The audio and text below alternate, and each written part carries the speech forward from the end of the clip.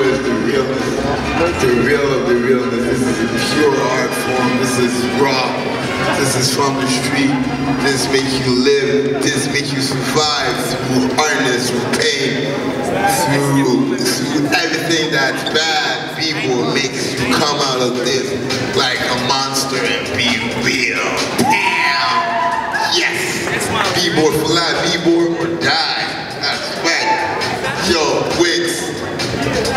Three, two, one. New York City.